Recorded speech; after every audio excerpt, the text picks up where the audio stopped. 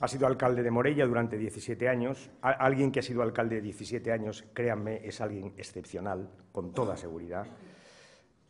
Pero viene al caso de la alcaldía por, por, dos cosas que voy a decir. Primero, porque en un momento en el que la política se dice que está alejada de los ciudadanos, nada mejor que los políticos hayan pasado por esa escuela fantástica que es un ayuntamiento, que es la política cercana a los ciudadanos. Además, tiene otra cualidad importantísima para la vida política sobre todo en su comunidad, la comunidad valenciana, que es el consenso, es un hombre de consenso.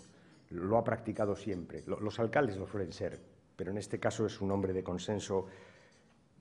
Y, pienso que los socialistas valencianos tuvieron un gran éxito cuando eligieron para alcalde a un hombre de consenso, porque es una comunidad que va a necesitar mucho consenso, una comunidad que está muy mal, que lo está pasando muy mal, injustamente mal, que necesita políticos que sean capaces de sumar, de unir, de hacer proyectos comunes como Chimo hizo con su ciudad.